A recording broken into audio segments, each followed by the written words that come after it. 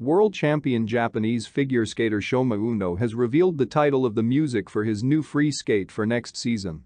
One of the melodies that will sound in the program is Johann Sebastian Bach's aria on the G-string, Air. The music of the second part of the program is not yet known because in a conversation with journalists, Shoma Uno could not remember the name of the melody. According to him, this name is too complicated. The program was choreographed by Japanese choreographer Kenji Miyamoto.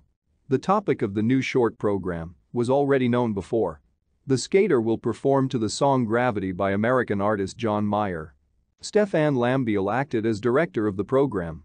The new program has already been shown at a show in Japan. That's all for today. If this information was interesting to you, put likes, subscribe to the channel, and see you soon.